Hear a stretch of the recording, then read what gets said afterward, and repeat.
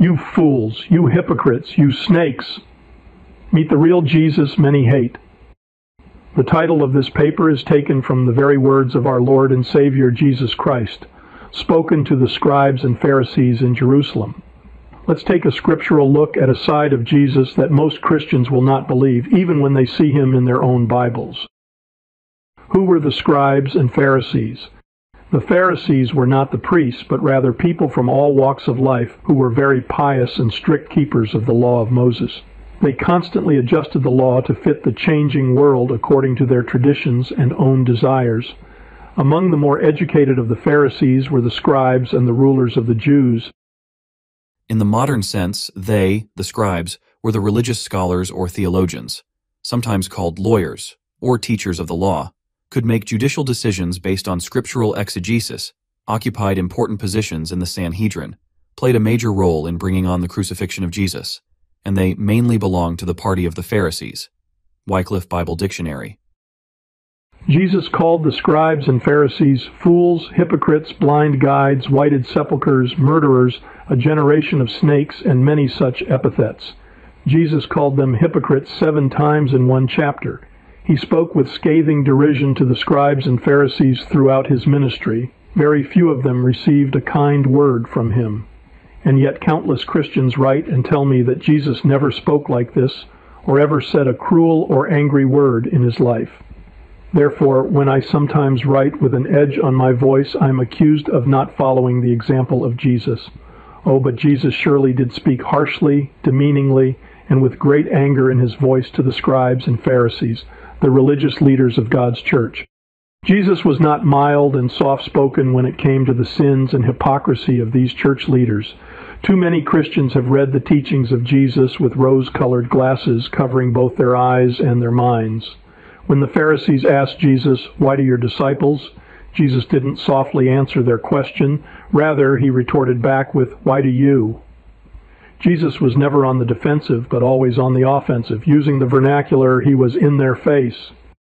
Do any believe Jesus was referencing farm animals when he said not to cast pearls or give what is holy to the dogs and pigs? Jesus referred to the recalcitrant Jewish leaders as an evil and adulterous generation, serpents and snakes and children of the devil. Why, he even told the scribes and Pharisees regarding the royal and mighty King Herod, Go ye and tell that fox, that jackal. Jesus upbraids the church leaders. There are many examples of Jesus upbraiding the church leaders for their gross sins, selections from Matthew 23. But woe unto you, scribes and Pharisees, hypocrites, for ye shut up the kingdom of heaven against men. For they bind heavy burdens, and grievous to be borne, and lay them on men's shoulders but they themselves will not move them with one of their fingers. Woe unto you, scribes and Pharisees, hypocrites! For ye devour widows' houses, ye shall receive the greater damnation. Woe unto you, scribes and Pharisees, hypocrites! Woe unto you, ye blind guides! Ye fools and blind! Ye fools and blind! Woe unto you, scribes and Pharisees, hypocrites! For ye and have omitted judgment, mercy, and faith. Ye blind guides, which strain at a gnat, and swallow a camel. Woe unto you, scribes and Pharisees, hypocrites! But within they are full of extortion and excess. Ye blind Pharisees! Woe unto you, scribes and Pharisees, hypocrites, but are within full of dead men's bones, and of all uncleanness, are full of hypocrisy and iniquity. Woe unto you, scribes and Pharisees, hypocrites! Ye are the children of them which killed the prophets. Fill ye up then the measure of your fathers. Ye serpents, ye generation of vipers, them ye shall kill and crucify, ye scourge in your synagogues. Behold, your house is left unto you desolate. Wow, every one of these comments from Matthew 23 were spoken directly to the religious scholars and theologians in the Church of God centered at the temple in Jerusalem. Would Jesus speak in the same manner to the religious scholars and theologians in God's church today? Does Jesus change? No. Has the church changed in the past 2,000 years? Yes. It has gotten worse. Now I assure you that I have never personally referred to the religious hypocrites of our day with all the descriptive words that Jesus used. Yet I am cursed and condemned to hell for merely exposing the heresy of religious leaders and teachers. Positively, no one in Christendom would ever sanction such a manner of speech from a minister in their denomination. There isn't a denomination in all Christendom that would hire Jesus as their pastor if he were to return today. Why they would throw him out the door on his ear before he got ten minutes into his first sermon. Christians are offended that I would even point out these historical facts of Scripture. They really don't want to believe Jesus spoke as he did, even though it's all right there in their Bibles. Most of the followers of the scribes and Pharisees thought them to be virtually perfect, just as the modern church scholars, teachers, and preachers are thought by their followers to be perfect. The prophet Malachi bears witness of the corruption that came into the Old Covenant Church of God. Jesus dealt with this same corruption while he was building his own new covenant church. Just as the old, the new also quickly began corrupting from within. Hardly a person alive believes that there is more corruption in the 21st century Church of God than in the first century Church of God. Get ready for some startling prophecies that prove what evils lurk in our hallowed halls of Christendom and except your righteousness far exceed the righteousness of the scholars and theologians in today's world of Christendom, you shall in no case enter into the kingdom of heaven. Below are some scriptures describing these conditions spilling over from the Jewish leaders into the church that Jesus built. Vessels in a great house. Listen carefully, for these prophecies are not directed toward the world of unbelievers, but to the church of God but in a great house there are not only vessels of gold and of silver, but also of wood and of earth, and some to honor and some to dishonor. Just what is this great house of which Paul speaks? Let Paul answer, But if I tarry long, that thou mayest know how thou oughtest to behave thyself in the house of God, which is the church of the living God, the pillar and ground of the truth. The Apostle Peter tells us that this house of God definitely needs judging. But the time has come that judgment must begin at the house of God. If the house of God needed judgment in the days of the apostles, how much more judgment does it need today?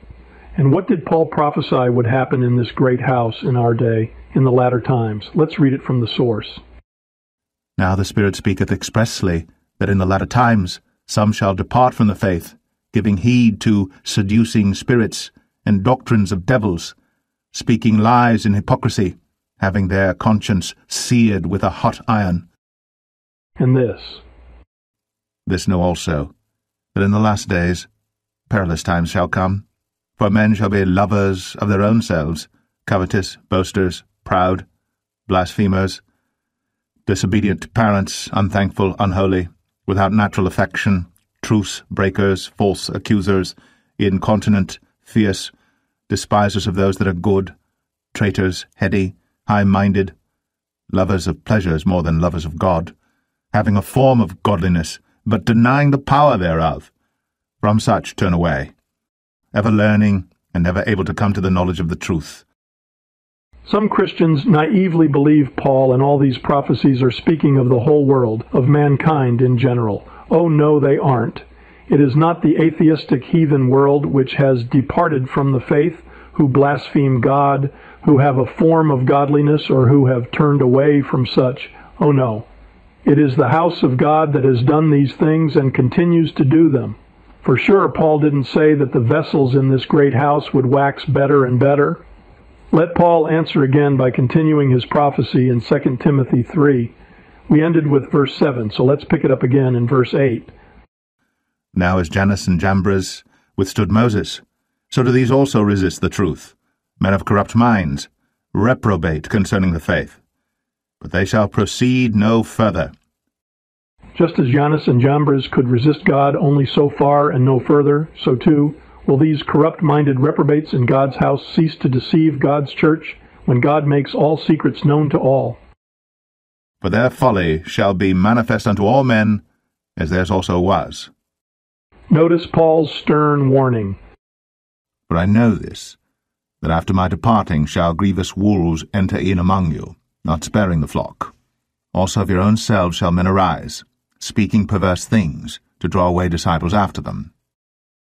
I decided to write this paper after receiving thousands of angry emails condemning my tone of writing and teaching, all from Christians, mind you.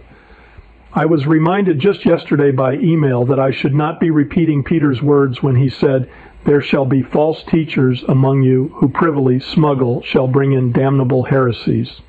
2 Peter 2 1. I was told this phrase carries a different meaning today from when Peter spoke it. Many warn me of dire consequences if I continue.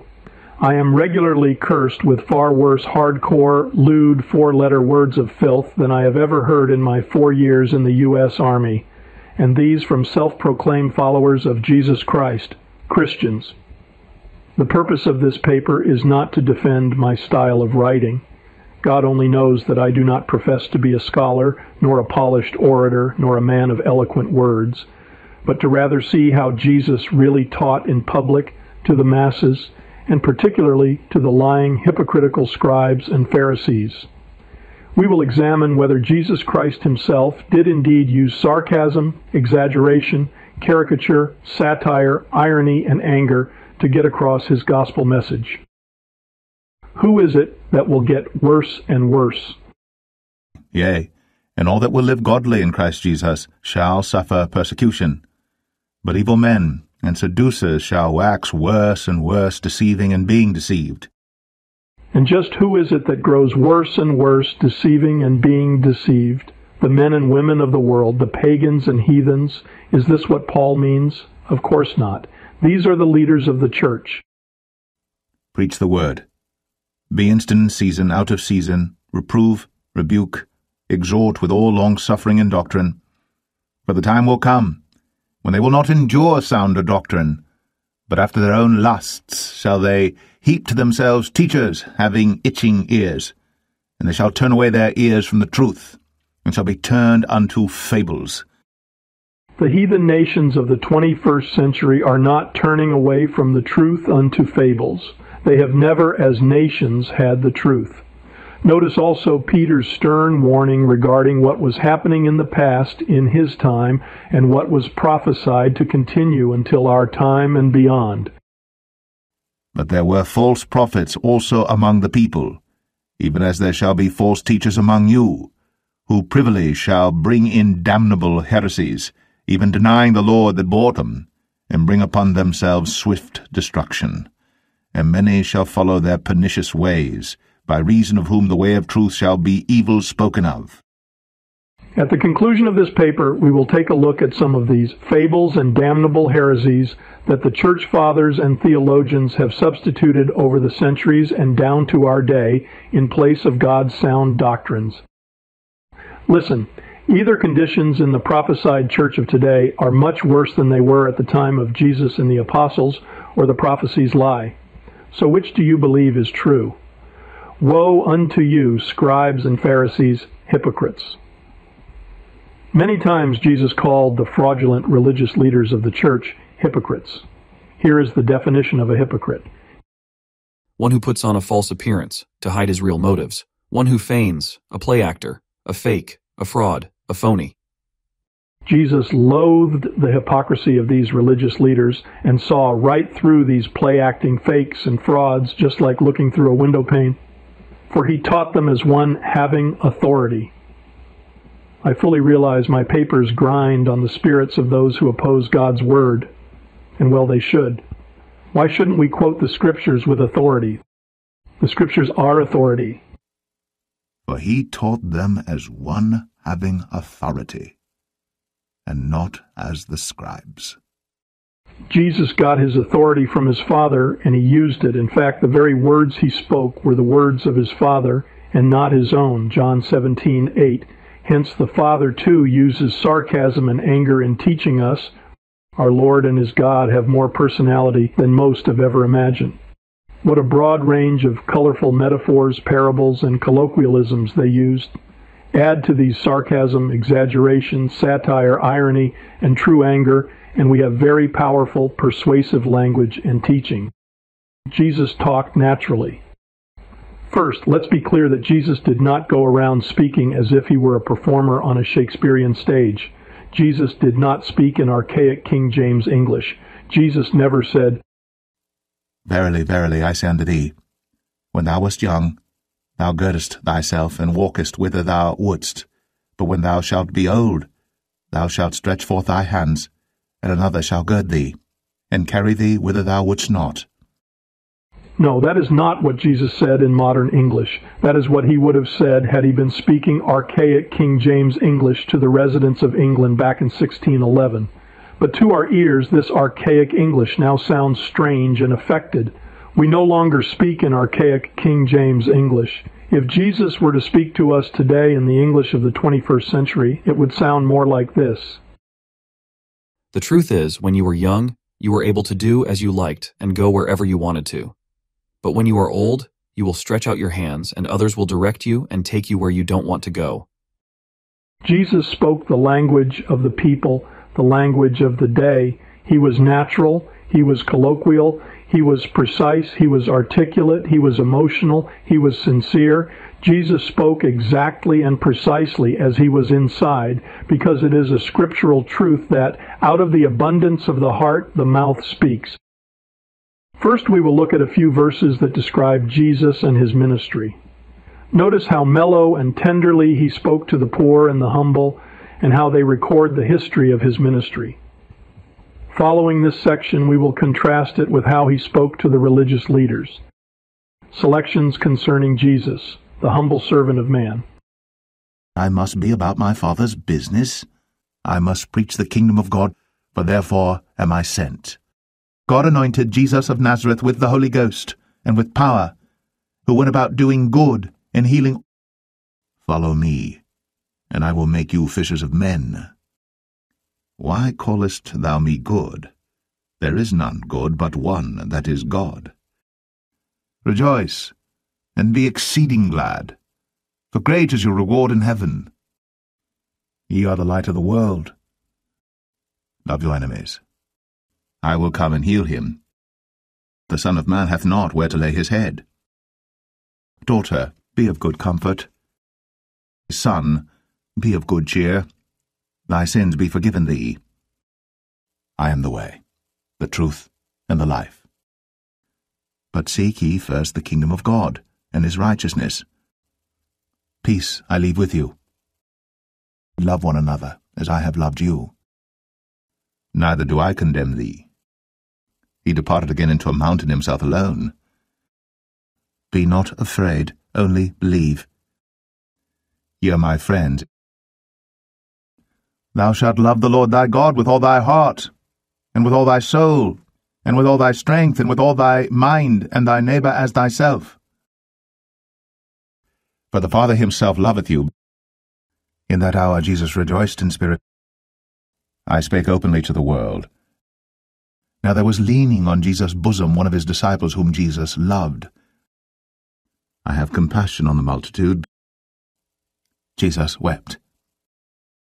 Suffer the little children to come unto me. Come unto me, all ye that labour and are heavy laden, and I will give you rest. With desire I have desired to eat this Passover with you. He poureth water into a basin, and began to wash the disciples' feet, and to wipe them with the towel. O Jerusalem, Jerusalem, how often would I have gathered thy children together, even as a hen gathereth her chickens under her wings. And when they had sung an hymn, Father, if thou be willing, remove this cup from me. Nevertheless, not my will, but thine be done and being in an agony he prayed more earnestly. And his sweat was as it were great drops of blood falling down to the ground. Father, forgive them, for they know not what they do. It is finished. They saw a fire of coals there, and fish laid thereon, and bread. Jesus saith unto them, Come and dine. Jesus identified with our humanity when he said, Simon, Simon, Martha, Martha. Jesus was profoundly human. He was, after all, the humble servant as the Son of Man, but he was also the wise and powerful Son of God. Jesus spoke gently with the meek, but his speech exploded with the wicked. It is only when Jesus confronts the religious leaders that his tone of voice and choice of words changes dramatically from how he spoke to the people in general.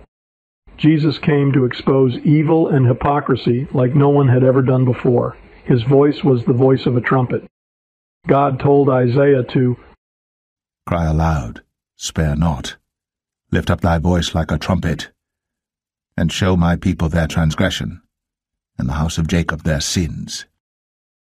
Likewise, as a servant of God, I cannot expose the evil and hypocrisy in the church and in this world with a song in my heart, a smile on my face, and a chuckle in my voice. Sorry, but that won't get the job done. I laugh considerably more than almost anyone I know, but try to palm off the evil and vile doctrines of the church to God's little ones, and my countenance changes instantly. There is a time for humor and there is a time to get serious. Sarcasm can be serious business. Well, did Isaiah prophesy of such? Which say to the seers, See not, and to the prophets, Prophesy not unto us right things, speak unto us smooth things, prophesy deceits. I would rather sound a little angry or sarcastic than to teach smooth and deceitful things. Even Isaiah used colorful language. Speak unto us smooth things. Could this be the origin of smooth talkers? I'm not sure why it is automatically assumed that if one sounds angry, there is something wrong with his message. When speaking of immoral and evil things that hurt and deceive people, it behooves us to be angry about such things. Anger does not have to be a sin. God's anger is mentioned a couple of hundred times in Scripture. Many of the teachings of the church are not only evil, but they are stupid and foolish. Sarcasm is often the perfect exposer of stupidity. Sarcasm, old and new. I have two favorite scriptural sarcasms which I find to be sheer genius. One in the Old Testament and one in the New. The first is from 1 Kings 18:21-39. Elijah told the people that they should choose two bullocks and place them on two altars of wood. He then said, And call ye on the name of your gods, and I will call on the name of the Lord, and the God that answereth by fire, let him be God. They all agreed, and so the priests of Baal went first. And they took the bullock which was given them, and they dressed it, and called on the name of Baal from morning even until noon, saying, O Baal, hear us! But there was no voice, nor any that answered. And they leaped upon the altar which was made. And it came to pass at noon that Elijah mocked them, and said, Cry aloud, for he is a god. Either he is talking, or he is pursuing, or he is in a journey, or peradventure he sleepeth, and must be awaked. I think we should read this verse from the Living Bible. About noontime, Elijah began mocking them. You'll have to shout louder than that, he scoffed, to catch the attention of your God. Perhaps he is talking to someone, or is out sitting on the toilet, or maybe he is away on a trip, or is asleep and needs to be wakened. And the priests of Baal, being as stupid as stupid can be, obeyed Elijah's mocking sarcasm. And they cried aloud, but there was neither voice, nor any to answer, nor any that regarded. Remember that God himself inspired Elijah to mock the priests of Baal with these jeering and demeaning epithets. He went so far as to suggest that maybe their God was sitting on the toilet or so exhausted he fell asleep and they were too stupid to even know that Elijah was making public spectacles and fools out of them. But Christians assure me that God doesn't mock. Excuse me, but I did find this scenario in the Bible. And let's not forget this.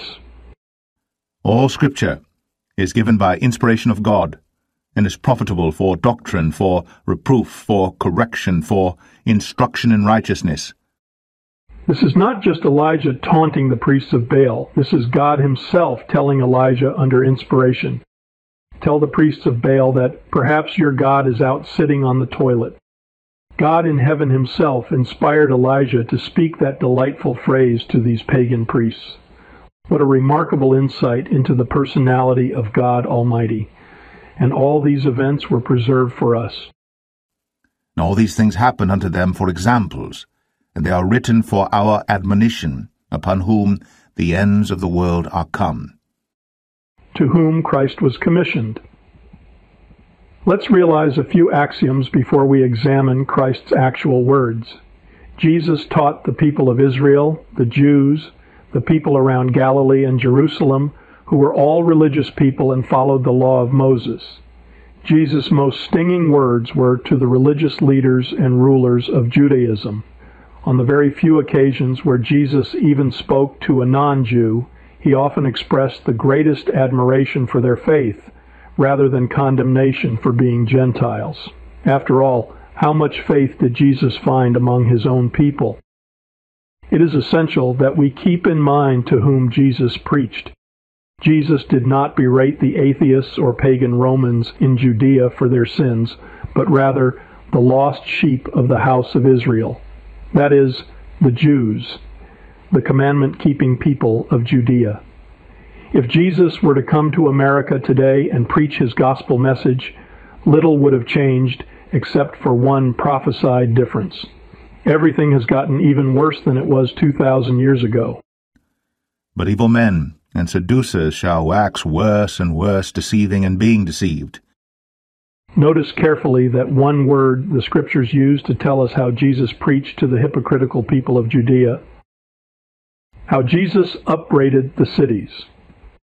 Then began he to upbraid the cities wherein most of his mighty works were done, because they repented not. Blessed are ye, when men shall revile you and persecute you, and shall say all manner of evil against you falsely, for my sake. Notice that Jesus upbraided the cities truthfully, while he said men would revile his true followers falsely. The same Greek word is used to describe both. No matter how stern or cutting our Lord's words might have been, they were always truthful. As for any sarcasm and anger that Jesus exhibited, your argument must be with him and not me. Clearly, oneidizo is not a pleasant word, but what does it mean when it says that Jesus began to upbraid the cities where he taught? I will consult Strong's Dictionary of the New Testament to help us define this word, because if I were to define it myself and tell you what it means, no one would believe me. Oneidizo is a powerful word of rebuke and condemnation. Here is the definition. Strong's Greek Dictionary, 3679, oneidizo, from 3681, notoriety, that is a taunt, disgrace, a reproach to defame, i.e., rail at, chide, taunt, upbraid, reproach, revile, cast in, one's teeth, page 179. And here is what all those words mean. Notoriety, notorious, ill fame, infamous. Taunt, reproach, mocking, insulting, contemptuous, scornful, tirade, disgrace, loss of honor, shame, disapproval, disfavor, discredit, reproach, disapproval, criticism, disappointment, shame, disgrace, blame, rebuke, defame, to attack or damage the character or reputation of, rail, to express objections or criticism in bitter, harsh, or abusive language, chide, scold, correct, improve, reprimand, disapproval, strife, contention.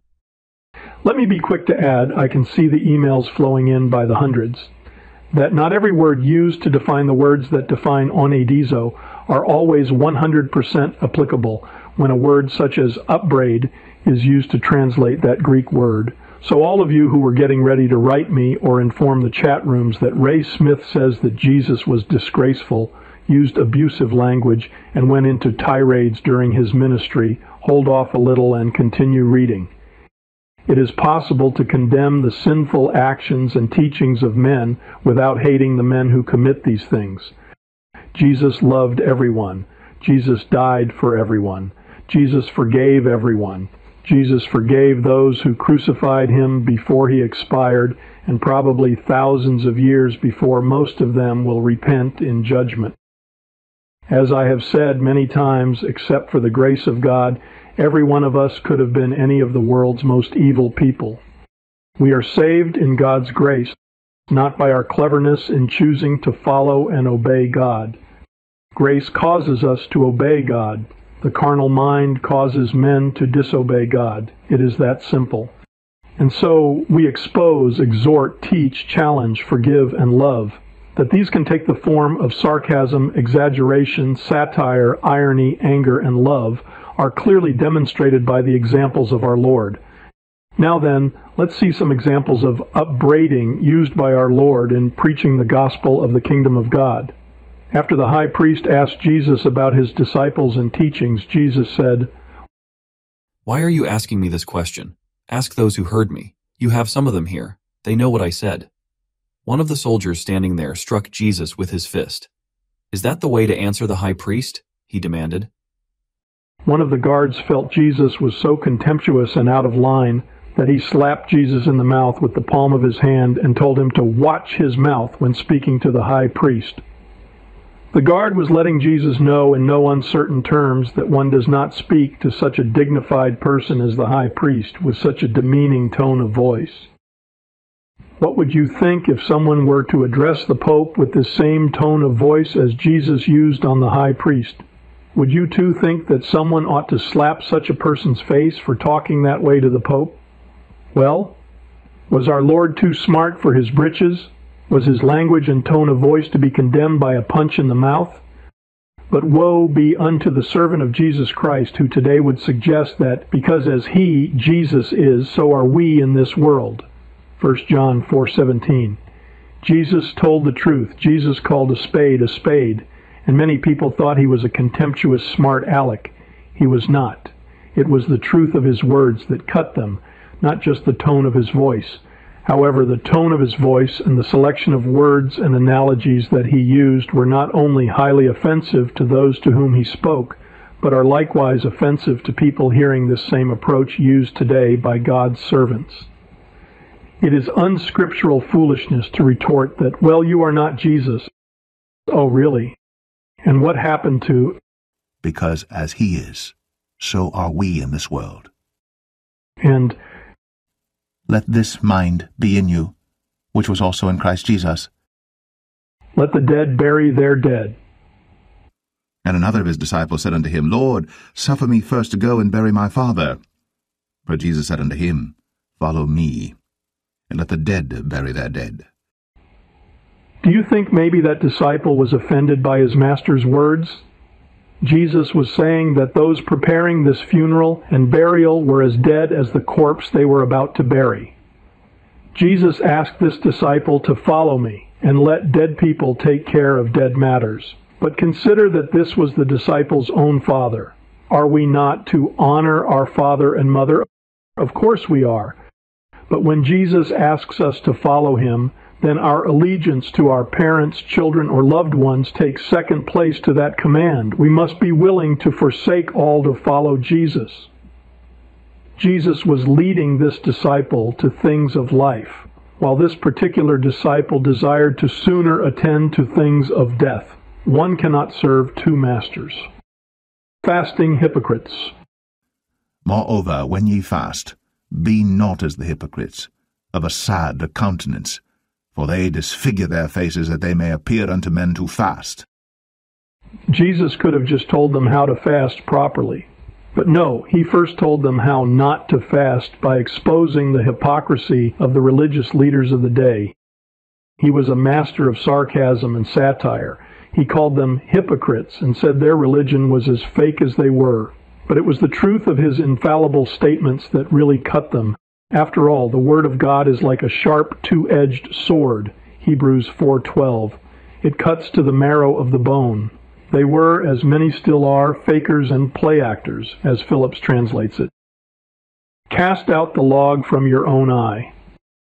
How wilt thou say to thy brother, Let me pull out the mote out of thine eye, and behold, a beam is in thine own eye? What?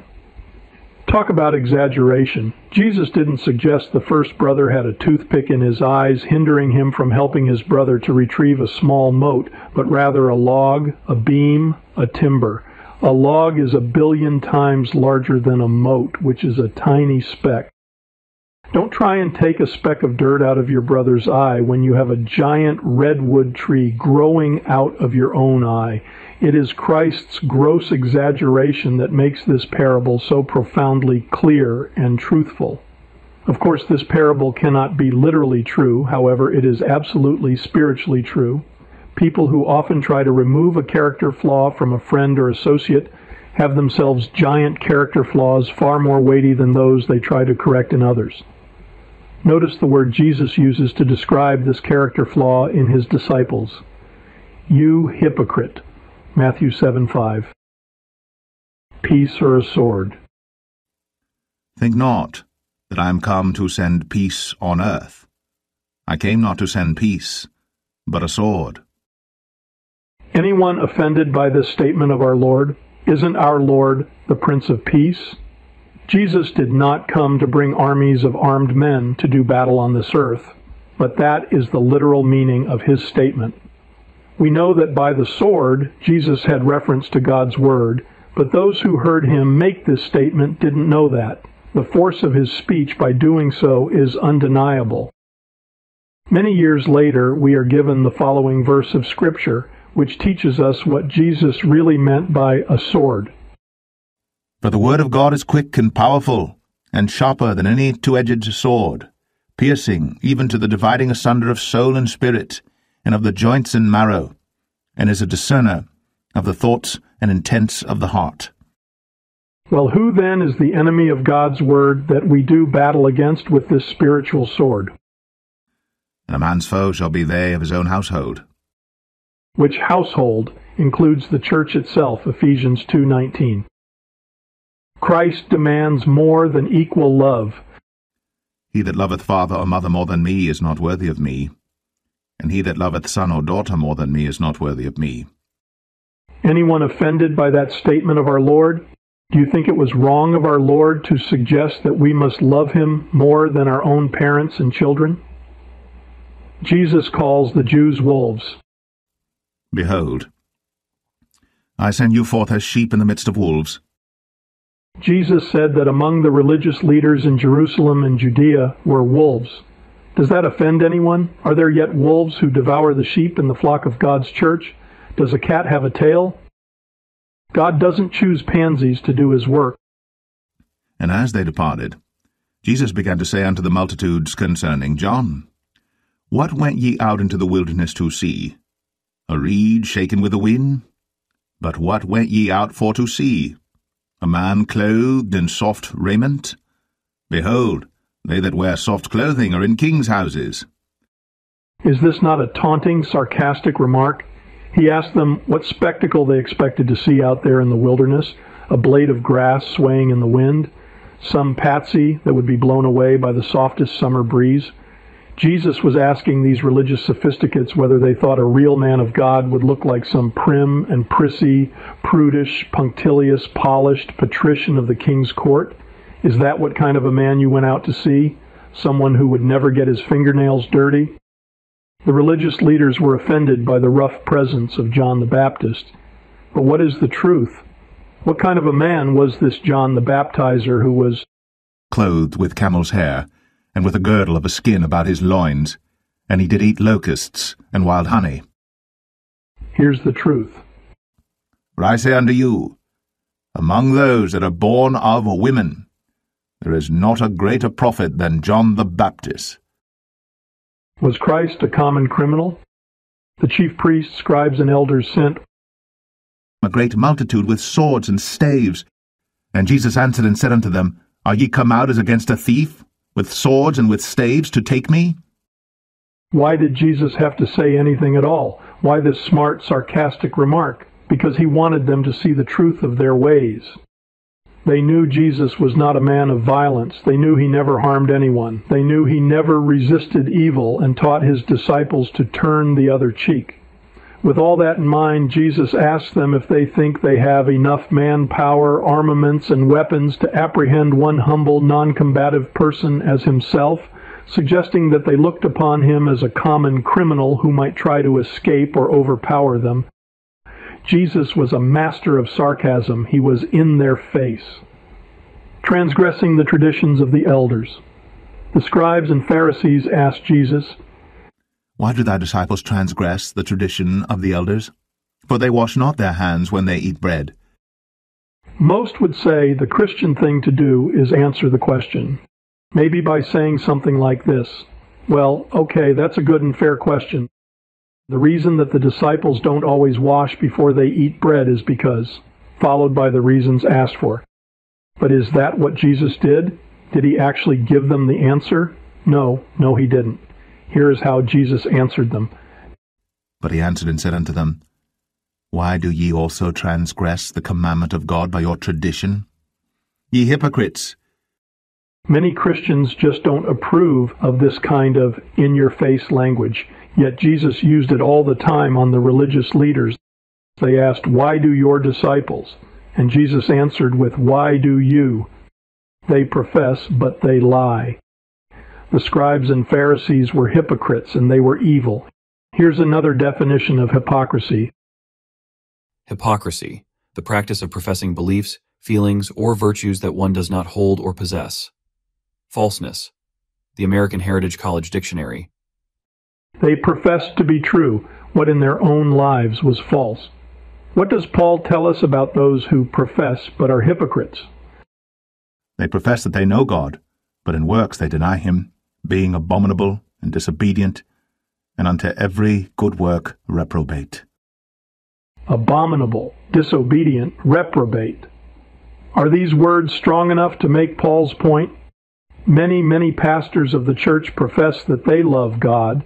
They profess that they love their neighbors, then even profess that they love their enemies, but in works they deny him. Love not the world, neither the things that are in the world. If any man love the world, the love of the Father is not in him. Yet who loves the world more than the tens of thousands of money-hungry, vanity-filled, power-crazed lovers of worldliness and worldly pleasures who call themselves pastors? Do they love their neighbors when they fraudulently and unscripturally extort widows' welfare checks to sustain their uncontrollable lusts for power, fame, and materialism? If you are a pastor who does not do these things, then I am certainly not talking about you. Today's recruits are tomorrow's heretics. Woe unto you, scribes and Pharisees, hypocrites! For ye compass sea and land to make one proselyte, and when he is made, Ye make him twofold more the child of hell than yourselves. This is pure sarcasm. Jesus said that they would scour the whole planet for just one convert that would then continue their heresy with twice the vigor of their teachers, sounding a trumpet. Therefore, when thou doest thine alms, do not sound a trumpet before thee as the hypocrites do in the synagogues and in the streets, that they may have glory of men. Verily I say unto you, they have their reward. Are we to believe that these hypocrites literally had trumpeters follow them into the synagogues and blast on their horns while they made their contribution? I don't think so. This is sarcasm. Jesus was saying that in the proud and vain manner in which they gave, calling attention to their alms. It was like sounding a trumpet. It was the strongest demeaning sarcasm Jesus could come up with to describe their shameful public acts of vanity. Do not today's hypocrites sound a trumpet when they do some good deed? This is in fact how they get more money, by telling everyone on international television the many good things they are doing with your money. I have heard different heads of ministries say on international television how they wrote a check for $10,000 or some other large amount from their own checking accounts and gave it to their own ministry. Is this really a sacrifice for someone who devours widows' houses to the tune of millions of dollars a year when their salaries from those widows is hundreds of thousands of dollars a year? They are sounding a trumpet to advertise their own sins. It was reported by high officials that Herbert W. Armstrong, founder of the Worldwide Church of God Ambassador Colleges, boasted of a huge gift from his own checking account and then canceled payment on the check. Are you beginning to understand the meaning of the word hypocrite? Sometimes man's greater sin is trying to be holy. Ye blind guides, which strain at a gnat and swallow a camel. Exaggerated sarcasm, one cannot literally swallow a camel. But spiritually, this is exactly what they were doing. The itsy bitsy, teensy weensy flaws of their spiritual lives that they attempted to clean up versus the gigantic spiritual character flaws they did nothing to change were truly comparable to a gnat versus a camel. Don't waste God's word on spiritual dogs and pigs. Remember, Jesus only taught in parables. Did Jesus say, don't bother teaching the truth to those who don't want to hear it? That would have been clear enough. Or, don't try to teach the truth to those who do not desire the truth. Simple. Oh no, Jesus would never say it like that. Here's how Jesus would say it. Give not that which is holy unto the dogs, neither cast ye your pearls before swine, lest they trample them under their feet, and turn again, and rend you. I've had this happen to me many times by clergymen of the church. I give them God's pure word, and they spiritually trample it under their feet, and then spiritually try to tear me in pieces. Atheists and heathens don't treat me this way, only professing Christians. I am well aware that missionaries have been virtually torn to pieces by heathens, but thankfully, this is not the norm. Jesus used sarcasm on Satan. Jesus once told Satan to get thee behind me, Mark 8:33. Why, behind him? Because it was offensive to Jesus to have Satan in front of him. Satan has no business in front of Jesus. Jesus told Satan to, Get out of my face, Satan, get thee behind me.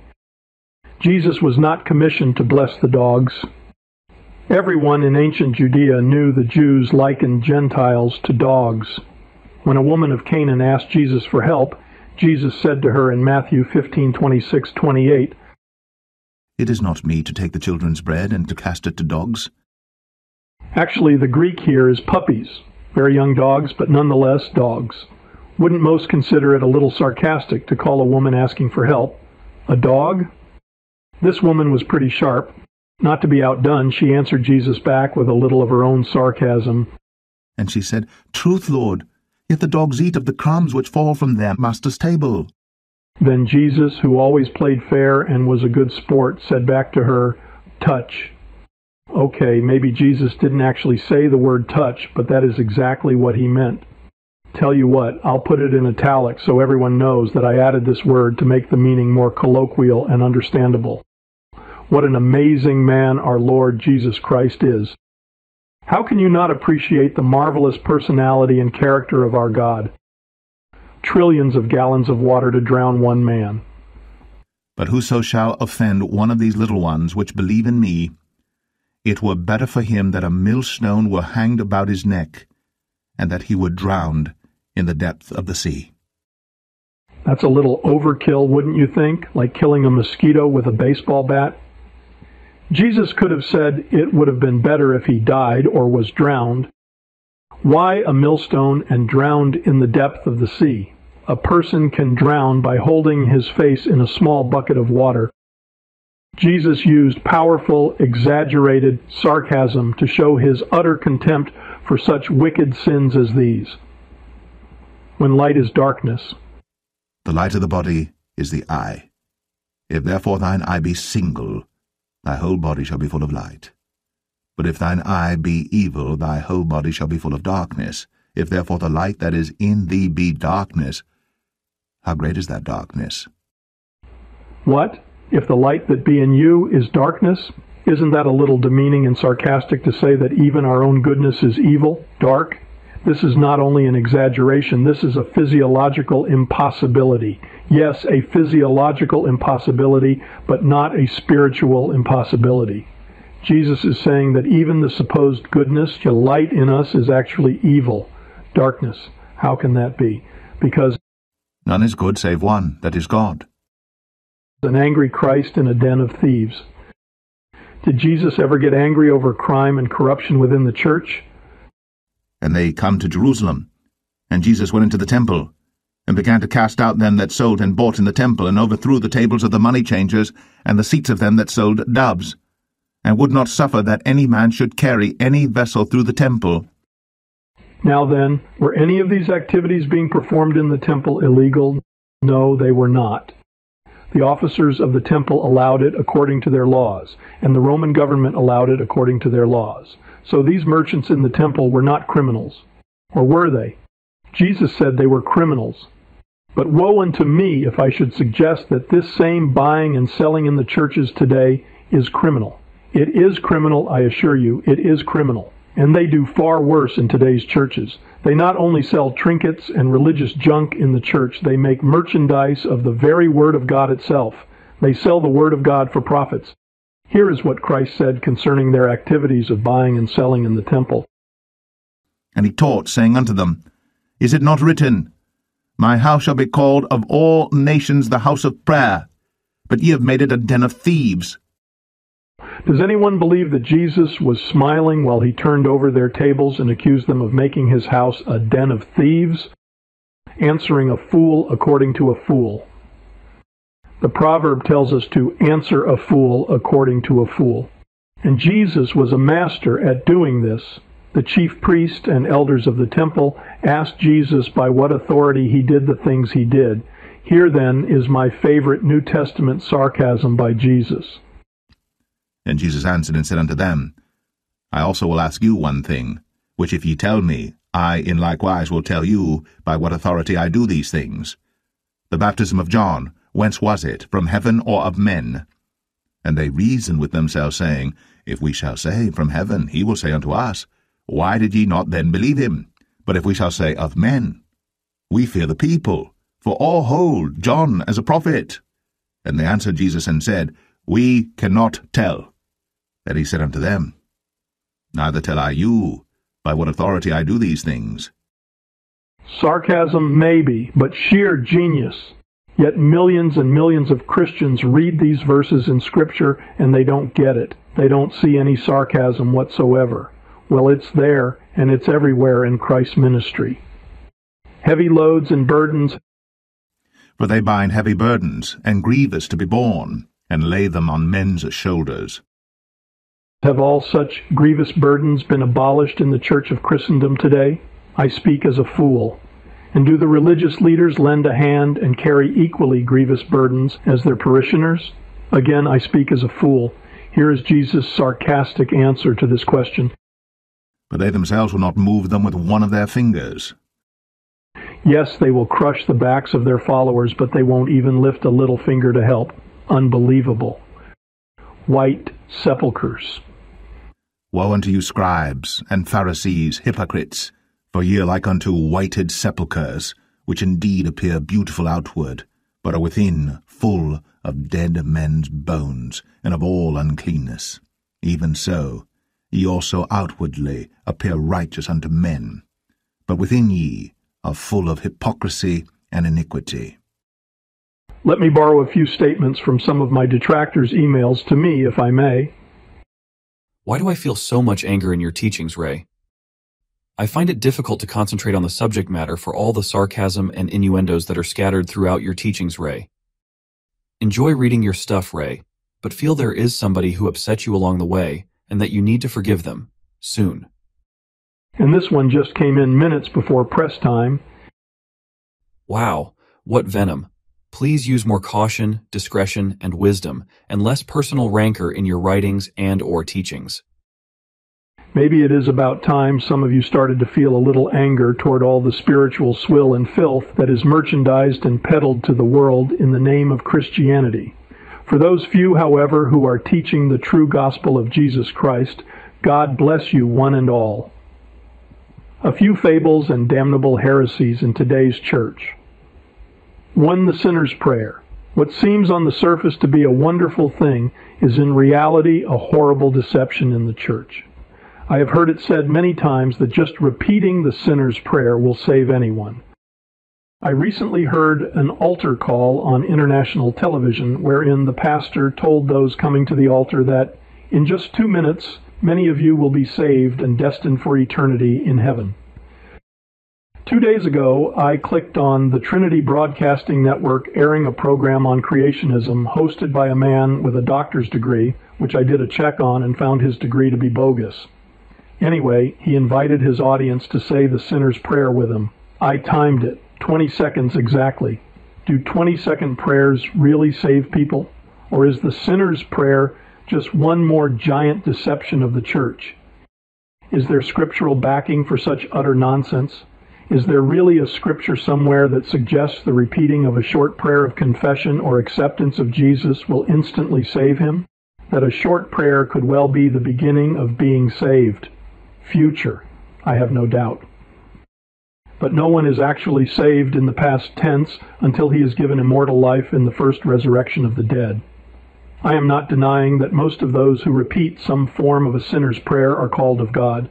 But are all who are called in this life actually saved in this life? Is the repeating of a sinner's prayer, a call to repentance and acceptance of Jesus as your Savior, sufficient to gain one entrance into the kingdom of Christ? Many would cry heresy to suggest otherwise. Here's Christ's own answer. For many are called, but few are chosen. So the last shall be first, and the first last. For many be called, but few chosen. Oh, yes, the first shall be last. They will be saved, but they will be the last to be saved in the great white throne judgment. If someone repeated a sinner's prayer at an evangelistic campaign and then died in any auto accident on the way home, would they be qualified to be in the kingdom of God based on their heartfelt sinner's prayer? Is there nothing more required? Theologians have taught the ministers in seminaries that all that is needed for salvation is the repeating of a few magic formula words, and presto chango, you are saved.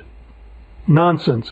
It is believed that all one has to do is find a scripture verse with the lowest possible denominator of requirements, with the least possible number and difficulty of commandments, then simply pronounce those words with your lips, and you are saved. Oh, really? But didn't Peter address all those visiting in Jerusalem on that momentous Pentecost after Jesus' resurrection and boldly proclaim, And it shall come to pass that whosoever shall call on the name of the Lord shall be saved? I mean, really, how hard can this thing of getting saved be? Call upon the name of the Lord and be saved. Is not this formula for salvation contained in the sinner's prayer? What else could possibly be missing? Two things we are told. One, call upon the name. Whose name? Two, of the Lord. Who is the Lord but Jesus Christ? And what did the Lord Jesus Christ have to say about those who call him Lord? Do you really want to know? Or would you rather not go that far in your quest to understand what calling upon the name of the Lord really means, entails, and demands? Well, ready or not, here's Christ's own answer. And why call ye me Lord, Lord, and do not the things which I say? Jesus then tells what happens to people who hear and do not the things he says and teaches. Their spiritual house will come under trial and attack, and it will fall. And the ruin of that house was great. We cannot call upon the name of the Lord and do not the things which he says. Now then, what things which he says, everything that he says, can't we do just some of the things he says? No, everything. What if we do just some of the more important things he says? No, everything. Here are but a few. For I say unto you, that except your righteousness shall exceed the righteousness of the scribes and Pharisees, ye shall in no case enter into the kingdom of heaven. Many Pharisees, like Saul Paul, kept the law of Moses nearly flawlessly to no avail. Jesus set a standard of righteousness and morality far above the carnal Ten Commandments. Verily, verily, I say unto thee, except a man be born again, he cannot see the kingdom of God. A 20 second sinner's prayer does not accomplish any of these mammoth spiritual accomplishments of God in us. But I say unto you, that whosoever looketh on a woman to lust after her hath committed adultery with her already in his heart. Now the works of the flesh are manifest, which are these, adultery, that they which do such things shall not inherit the kingdom of God. But I say unto you, that ye resist not evil, but whosoever shall smite thee on thy right cheek, turn to him the other also. How many Christians do this, yet it must be done? Verily, verily, I say unto you, except a corn of wheat fall into the ground and die, it abideth alone. But if it die, it bringeth forth much fruit. He that loveth his life shall lose it, and he that hateth his life in this world shall keep it unto life eternal. Do we hate our lives in this world? Are we dying to all the illegal pulls of the flesh? The last thing on earth Christians want to do is die. Yet unless we do die, as a seed put in the earth, we will not be living in the kingdom of God. Verily I say unto you, inasmuch as ye did it not to one of the least of these, ye did it not to me. Whenever we fail to do good to others, is exactly how we fail to do good to Jesus. Are you convinced that Jesus is happy with the way you treat your family, your neighbors, your enemies? Verily I say unto you, that a rich man shall hardly enter into the kingdom of heaven. And yet, one of the major thrusts of all modern evangelism is their prosperity gospel, in which they extol the virtues of worldly materialism. They have no shame.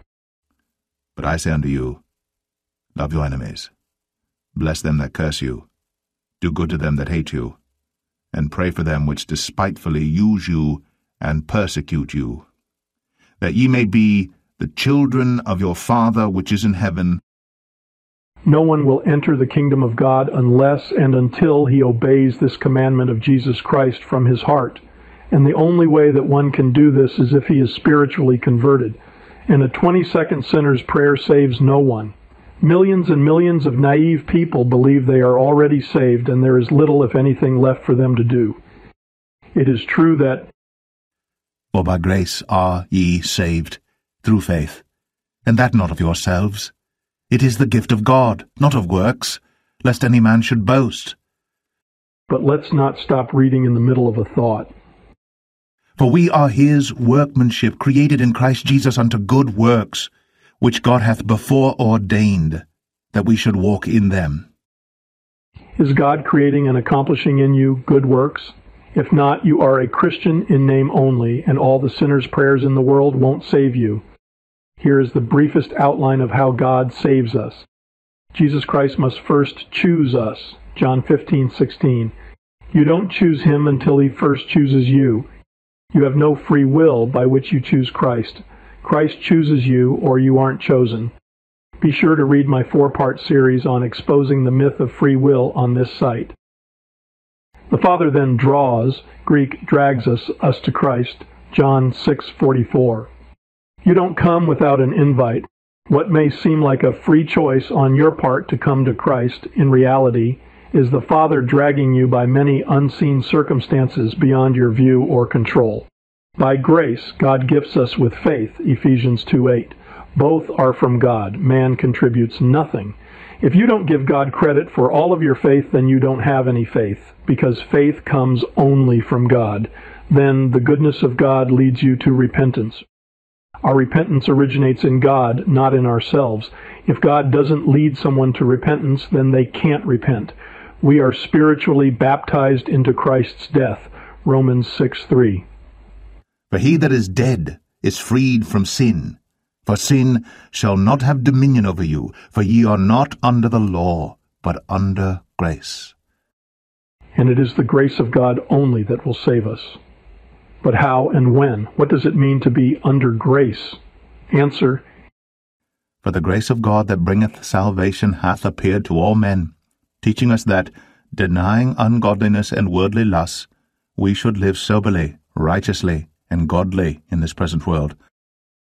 If you are not doing this and growing every day, then you are not being graced by God, and you are not on your way to salvation. The grace of God will discipline and chasten us into obedience to all of God's spiritual laws and commandments. Whosoever will come after me, let him deny himself, and take up his cross, and follow me. This is not an option to salvation. This is an absolute requirement. I am not trying to paint a picture of doom and gloom, but the reality of living as Jesus Christ demands is not a walk in the park or a stroll through a rose garden. You can pursue a life obsessed with beauty, fame, vanity, materialism, and worldliness, but don't think you can also coordinate all that with a life of following Jesus Christ. For even hereunto were ye called, because Christ also suffered for us, leaving us an example, that ye should follow his steps. He that saith he abideth in him ought himself also so to walk, even as he walked. Herein is our love made perfect, that we may have boldness in the day of judgment, because as he is, so are we in this world. If you do not suffer persecution, then you clearly are not living godly in Christ Jesus. To him that overcometh, Overcomes what? Overcomes the sins of the flesh, the sins of the church, and the sins of the whole world. We must overcome just as Jesus overcame. to him that overcometh, will I grant to sit with me in my throne, even as I also overcame, and am set down with my Father in his throne. Jesus Christ overcame his own flesh, Hebrews 4:15, and Jesus overcame the sins of the whole world. These things I have spoken unto you, that in me ye might have peace. In the world ye shall have tribulation, but be of good cheer. I have overcome the world. We must all overcome as Jesus overcame, and we must all live as Jesus lived, and anything less is a shame and heresy. And just how long must we be put up with all this persecution and trials of the cross? Again, let Jesus answer. And ye shall be hated of all men for my name's sake. But he that endureth to the end shall be saved. Are we to foolishly conclude that he that endures not to the end, and he that does not overcome, and he that does not suffer persecution, and he that does not take up his cross, and he that is not baptized into Christ's death, and he that does not live godly and righteously shall also be saved just as long as he speaks a 20 second sinner's prayer? Nonsense. There are hundreds of scriptures which tell us the many, many things that God will do in and through us before he actually saves us. Most of the nearly 50 New Testament verses regarding spiritual salvation in the King James are in the Greek aorist tense, equating to the indefinite in English. Most of these 50 verses are translated correctly in the King James. The following are found many times in our Bibles be saved, to be saved, shall be saved, should be saved, must be saved, may be saved, and might be saved. Where you find saved or has saved, it usually has reference to someone whom Jesus healed rather than spiritual salvation into the kingdom of God. A few times we find the phrase are saved. This, however, is not telling us when we are saved, but rather how we are saved. Scripturally, we are saved by hope, grace, and the gospel. Although Ephesians 2:8 tells us that by grace are ye saved through faith, this is a statement of how we get saved. By grace, those in the past are saved, those living now are saved by grace when they get saved, and those in the future also are saved by grace, as opposed to some other means. A very few King James renderings such as 1 Corinthians 1:18 and 2 Corinthians 2:15 should also read are being saved as it is in the Greek, whereas 2 Timothy 1:9 and Titus 3:5 should read saves us, an ongoing process. And so the scriptural truth of this matter is no one is saved in the past tense in this life without enduring unto the end. Else it would make no sense at all for Paul to state, But I keep under my body, and bring it into subjection, lest that by any means when I have preached to others I myself should be a castaway. if he were already saved past tense at the time he made the statement. The scriptures are loaded with this principle. Therefore I endure all things for the elect's sakes, that they may also obtain salvation which is in Christ Jesus with eternal glory. Jesus taught that the seed that fell on the stony ground did endure for a time, but since it had not deep root, the cares of this world caused it to wither away. Is it not clear that we must endure unto the end to be saved? And Paul absolutely proves beyond a shadow of a doubt that no one is saved past tense in this life. Here is why. For we are saved by hope. But hope that is seen is not hope. For what a man seeth, why doth he yet hope for?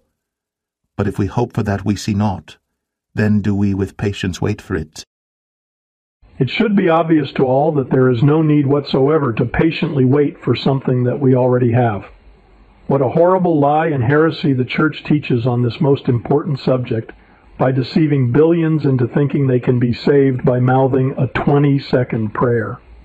It is absolutely useless to call Jesus Lord, Lord in a 20 second sinner's prayer or in any other way, unless you are ready to follow the rest of our Lord's admonition and do not the things which Jesus says. Luke 6:46. I could go on for 50 more pages on this one theme, but it's time I bring this to a close. 2. The Christian tithing law. Where did the Christian law of tithing come from? The Bible? Absolutely not. There is not one single example in the Bible of a Christian tithing to the church or a command to do so, and that is a scriptural fact. Notice this telling bit of history from the Encyclopedia Britannica. Tithes in Christendom. The earliest authentic example of anything like a law of the state enforcing payment appears to occur in the Capitularies, Ecclesiasticals, of Charlemagne at the end of the 8th or beginning of the ninth century. Tithes were by that enactment to be applied to the maintenance of the bishop, clergy, the poor, and the fabric of the church. In the course of time, the principle of payment of tithes was extended far beyond its original intention. Thus they became transferable to laymen and saleable like ordinary property, in spite of the injunctions of the Third Lateran Council, and they became payable out of sources of income, not just farming and herding, but other trades and occupations and salaries paid in the form of money, not originally tithable, 1963, Volume 22, page 253, Tithes, emphasis mine. Unbelievable. It was from the powerful Catholic Church that the unscriptural practice, did you notice the word enforcing, of Christian tithing originated many hundreds of years after the original apostles. Truth be known, the Reformation did virtually nothing to reform the corrupted Church of Christ. Enforcing the tithing of money on believers as if it were a law of God to do so is a damnable heresy that has caused untold pain and suffering and only led to more corruption and worldliness in the church.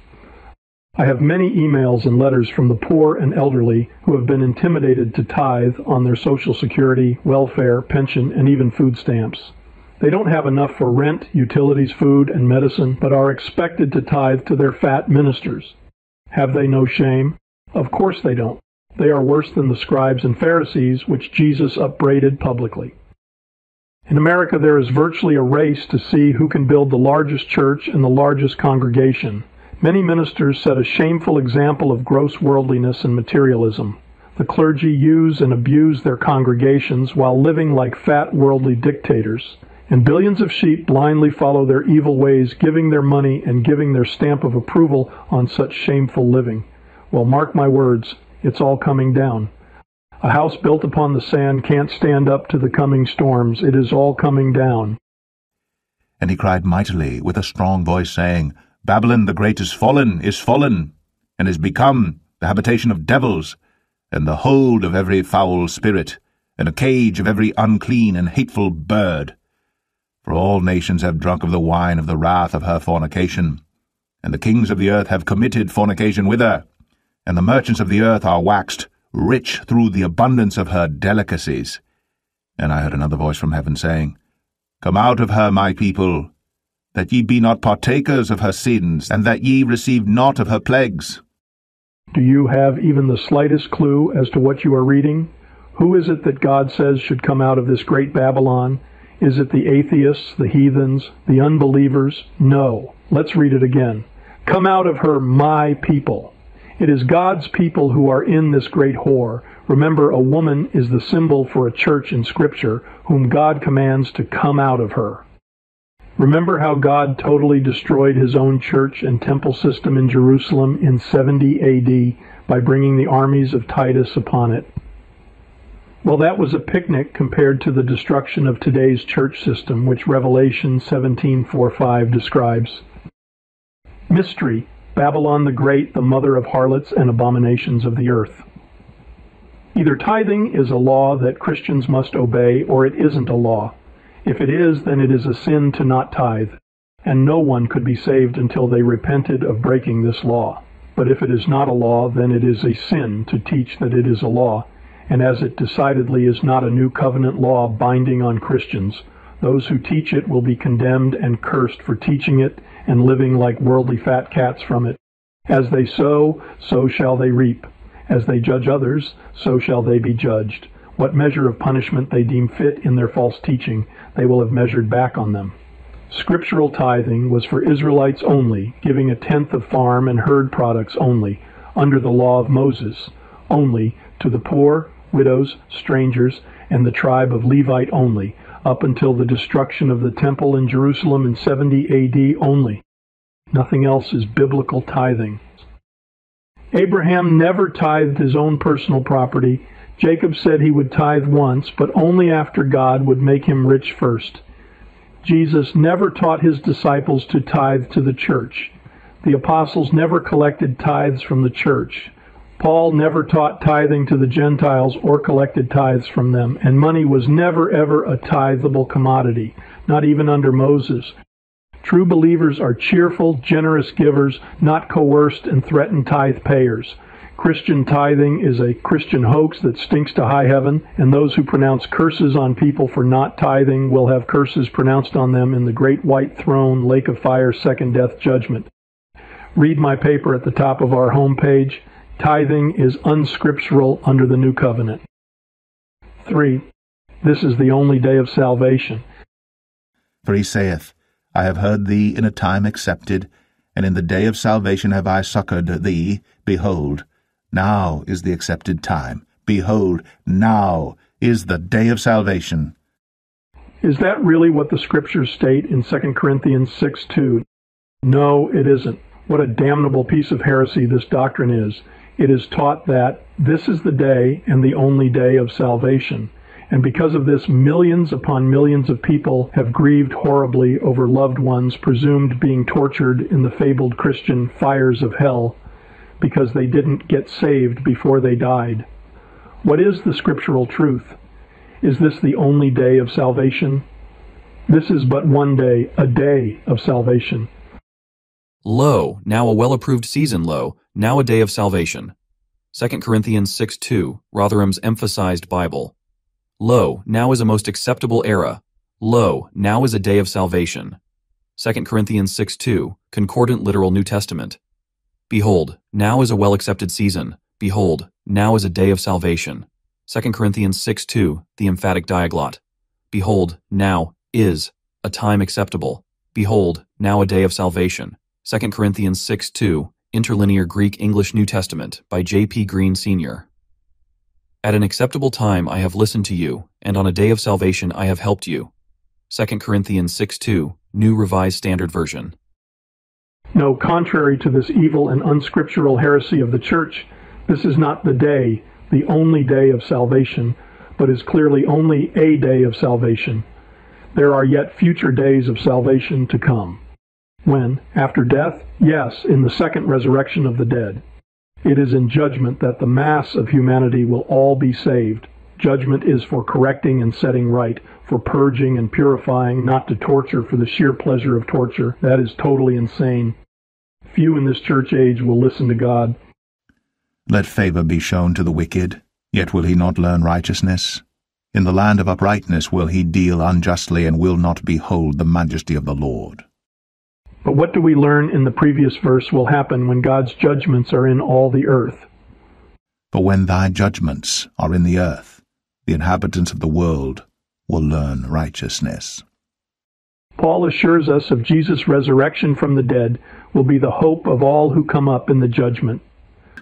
Because he hath appointed a day in the which he will judge the world in righteousness by that man whom he hath ordained, whereof he hath given assurance unto all men, in that he hath raised him from the dead.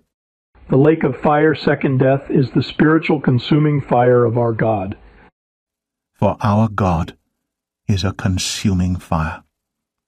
That spiritual fire of God is death to the carnal, rebellious, sinful, wicked, unbelieving heart and mind of man. God is able to purify all people. All who enter the spiritual fire of God will truly emerge clean and godly and saved. Four things will happen first. And they were judged every man according to their works, into the lake of fire. And the fire shall try every man's work the exact same four things occur in the fire of Revelation 20 as occur in the fire of 1 Corinthians 3. But only 1 Corinthians 3:15 tells us the marvelous outcome of God's fiery judgment of every man's work. If any man's work shall be burned, he shall suffer loss. but he himself shall be saved, yet so as by fire. There is the scriptural destiny and outcome of divine spiritual judgment, salvation of every man. To be sure, Christ died for our sins, and, and not for our sins only, but also for the sins of the whole world. 1 Corinthians 15:3 and 1 John 2:2. And so the penalty for all sin for all time has been paid in full. However, however, paying the penalty for sin does not take the sin out of the sinner, it only pays the penalty. Judgment is what takes the sin out of the sinner, and For the time has come that judgment must begin at the house of God. and contrary to Orthodox Christianity, there are two great periods of judgment.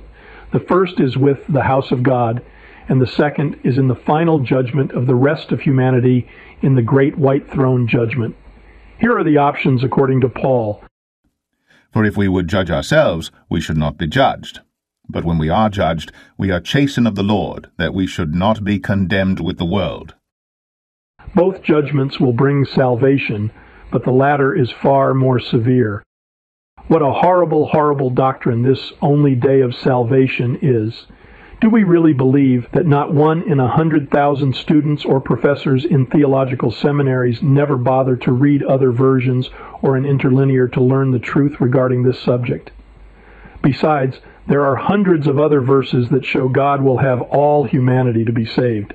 Hence, this cannot be the only day of salvation.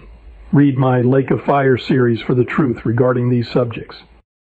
It's ironic. The church believes they are the only ones that will ever be saved, when in reality, a simple check with the scriptures in my first point clearly shows that many Christians will not be saved at all in this church age. They had better hope and pray there is another opportunity for them to repent and be saved. Only a chosen elect few are to be saved in this church age, whereas all humanity will be saved in the second resurrection to judgment. But that judgment will not be a walk in the park. 4. The Bible is literal. Is it true that one can only understand the scriptures if we take them literally? What is true is you will understand very little in the scriptures if you take them all literally. I have been told many times that the parables are to be taken literally. This is utter nonsense in addition to being another damnable heresy of the church. How did our Lord conduct his whole public ministry? I know of no denomination that teaches the truth to this question. Here is the scriptural answer which virtually no one will believe even though it is in their own Bibles. Jesus taught parable after parable after parable, and All these things spake Jesus unto the multitude in parables.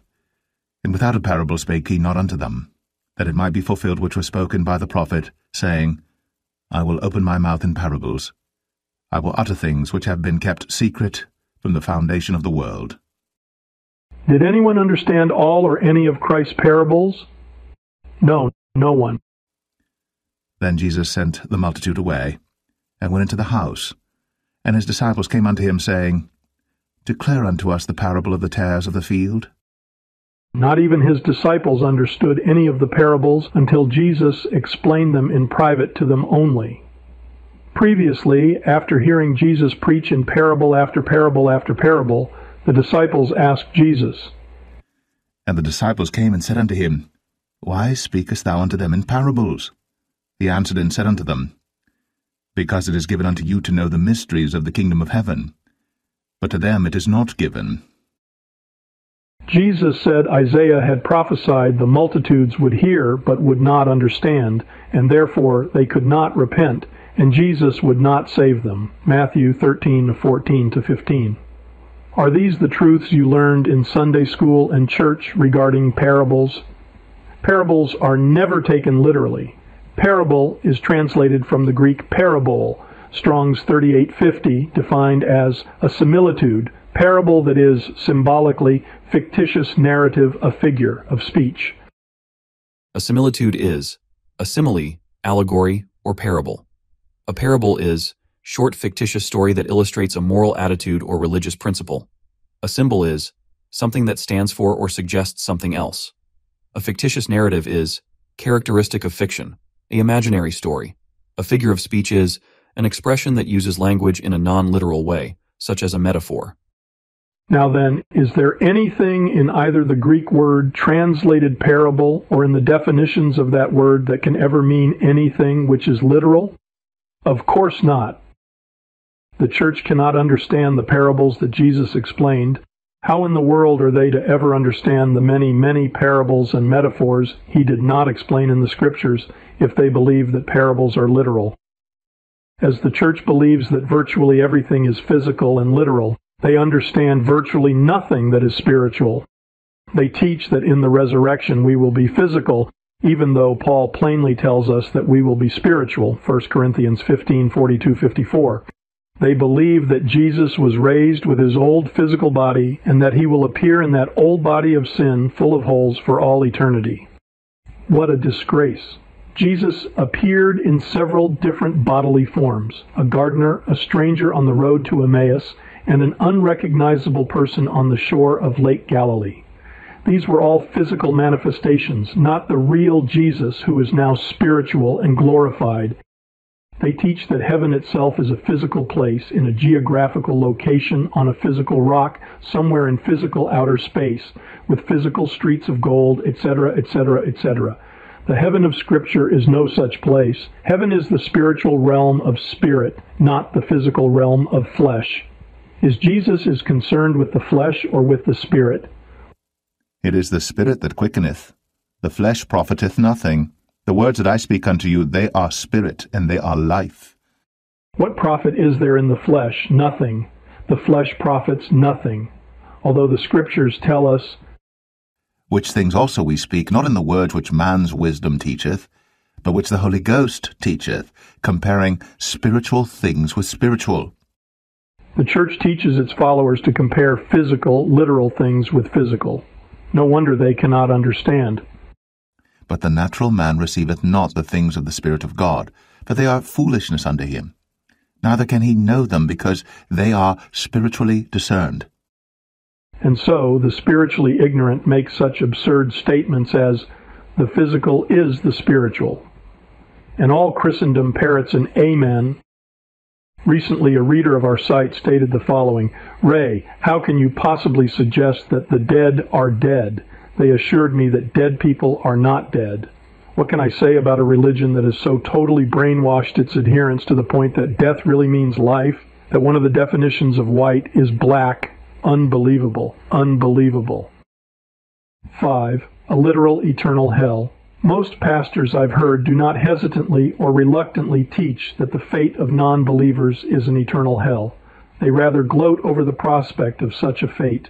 And not to be outdone, many parishioners follow suit and likewise take great joy in telling people like me that I will be spending an eternity in some terrorist hellhole of torture in literal fire without mercy. How truly sick and disgusting can the human heart get? Just how evil and perverted and demented and deranged can the teachings of Christendom get? Never in the gospel accounts or the history of the early church do we ever encounter anything that even comes close to the evil of this damnable heresy of the church. Imagine a doctrine that teaches that the very God who tells us to love your enemies will himself in judgment hate and torture our loved ones. We are to love our worst enemies, but God will supposedly torture many of our most precious and dearly loved ones. Who hasn't had an uncle or an aunt or even a brother or sister who did not profess Jesus Christ? We love them dearly whether they are believers or not, but apparently not the God of Christendom. Know that God will torture our family members whom we love so dearly, and we are assured that He will torture them for all eternity. Furthermore, we are to be a witness to this travesty of justice. Some totally demented pastors suggest that we will derive pleasure from their torture. Do you hear what I am saying? Do you understand the gravity of an eternity of torture in literal fire? If you say, yes, yes, you do, I will call you a liar right to your face. No human can comprehend anything so perverted, demented, deranged, and just plain vile wickedness. What kind of an alien monster would torture humans for all eternity in fire? And not only do billions of believers have no problem with this unscriptural monster, but they actually believe that we should worship such an alien satanic beast as though he were a god. Unbelievable. The God of our Lord Jesus Christ and the God of the Scriptures is going to show the world just how far from the truths of Scripture this church has departed. I give simple to understand proof from the Scriptures that utterly destroys this eternal torture and fire doctrine, and people despise me for writing the truths and making them known for all to read. It is a simple matter once someone has done all the research to prove conclusively that there is no such term as everlasting punishment in any Greek manuscript used to translate our modern language Bibles. The judgments and justice of God sets things right. They make the wicked righteous. They shame all the fools into seeking wisdom. They eliminate every vestige of carnality and stupidity. They bring eternal glory to God they do not turn God himself into an eternal insane terrorist. The Christian hell is a Christian hoax, and it is the very epitome of damnable heresy. And the teaching of this evil and vile doctrine is the greatest sin ever committed in the history of the world. And be forewarned, teaching that God Almighty will either cause or allow most of humanity to be tortured in literal fire for all eternity is the ultimate sin. There is no greater sin possible. It is the blasphemy of all blasphemies.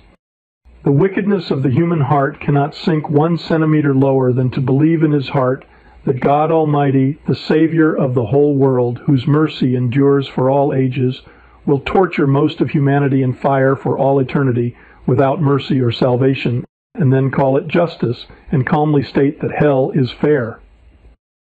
This unscriptural doctrine is neither fair nor just. As two internationally known pastors have stated, we don't imprison people for a hundred years for letting their parking meter expire, neither will God torture anyone for all eternity for telling a lie. This is total insanity. To attribute to God the travesty of torturing most of humanity for all eternity in fire is to accuse God of being a far greater and vile sinner than all of the sins and sinners of the world combined to the power of infinity. If God were to actually do such an insane act, he would be the ultimate sinner. Therefore, anyone who accuses God of such a demented perversion is himself the ultimate blasphemer and will be purged in the lake of fire, and he shalt by no means come out thence, till thou hast paid the uttermost farthing. Ye serpents, ye generation of vipers, how can ye escape the damnation of hell? Conclusion These are but a few of the dozens of unscriptural and damnable heresies that are utterly corrupting today's church. Well, did God instruct Isaiah when he said, Cry aloud, Spare not. Lift up thy voice like a trumpet, and show my people their transgression, and the house of Jacob their sins. Where are God's people, my people? And he cried mightily with a strong voice. And I heard another voice from heaven saying, Come out of her, my people, that ye be not partakers of her sins, and that ye receive not of her plagues. Who is the her that God's people are to come out of but Mystery Babylon the Great, mother church of harlots, daughter churches, and the abominations of the earth? Revelation 17, 4 through 6. Today's church threatens the world of sinners with eternal torture and eternal fire if they do not come into their great mystery church of abominations. World evangelism is presently compassing sea and land to make proselytes, and when they have made them, they make them twofold more the children of hell than themselves. They who teach eternal torture and fire will find themselves in the very fires they threaten on others. Son of man, the house of Israel is to me become dross. All they are brass and tin and iron and lead. In the midst of the furnace they are even the dross of silver. Therefore thus saith the Lord God, Because ye are all become dross, behold, therefore I will gather you into the midst of Jerusalem, as they gather silver and brass and iron and lead and tin into the midst of the furnace, to blow the fire upon it to melt it, so will I gather you in mine anger, and in my fury. And I will leave you there, and melt you. Yea, I will gather you, and blow upon you in the fire of my wrath. And ye shall be melted in the midst thereof. As silver is melted in the midst of the furnace, so shall ye be melted in the midst thereof, and ye shall know that I the Lord have poured out my fury upon you. Be not deceived, God is not mocked, for whatsoever man soweth, that shall he also reap. For he that soweth to his flesh shall of the flesh reap corruption, But he that soweth to the Spirit shall of the Spirit reap life everlasting. We can either despise not the fiery chastening of the Lord now, Hebrews 12:5-11, or we can be condemned with the world later, 1 Corinthians 11:32 in the great white throne, lake of fire, second death judgment, Revelation 20:11-15. But either way, we shall all be salted with spiritual fire, Mark 9:49.